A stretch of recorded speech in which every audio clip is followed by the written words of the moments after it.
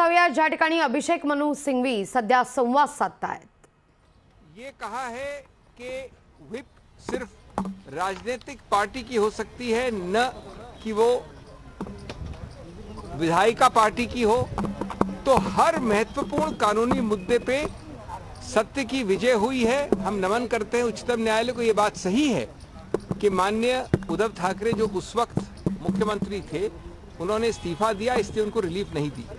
लेकिन आज सबसे महत्वपूर्ण निष्कर्ष क्या है कि माननीय स्पीकर को तुरंत निर्णय करना है कम समय में डिस्क्वालिफिकेशन पिटिशन का। तो मैं आपसे एक प्रश्न पूछना चाहता हूँ कि डिस्क्वालिफिकेशन पिटिशन का निर्णय तो एक ही हो सकता है।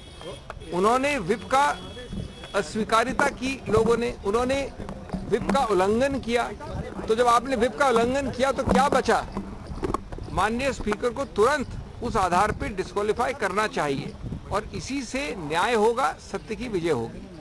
जहाँ तक एनसीटी का सवाल है, एक ऐसी सिचुएशन और ये किसी राजनीतिक पार्टी की बात नहीं है। कल कांग्रेस होगी, आज आप है, कल बीजेपी होगी। आपने दिल्ली को ये स्वरूप दिया, जिससे वहाँ स्वायत्व हो, यहाँ पर ऑटोनॉमी हो। आज स्वायत्त और दिल्ली की विजय है। दिल्ली के हर उस तरीके, तौर तरीके से जिसमें केंद्र सरकार ने गलत रूप से हस्तक्षेप किया है, उसको निरस्त किया गया है इस निर्णय द्वारा। और इसमें हर पक्ष में, कोई सिंगल ऐसा पक्ष नहीं है, मुझे सौभाग्य था इसका दलील करने का, और कोई हमारा ऐसा पक्ष नहीं है जिसको मना किया गया हो।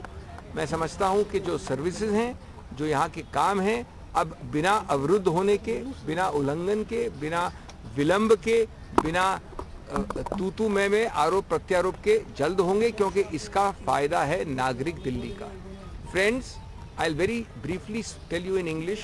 These are this is a historic day. Two two major judgments of the Constitution Bench, very detailed, very organized, indexed with conclusions.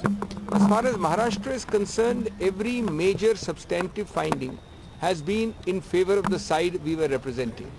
The governor's decision is wrong because it is. yes लोकशाही मराठी ऐका पहा जागरूक रहा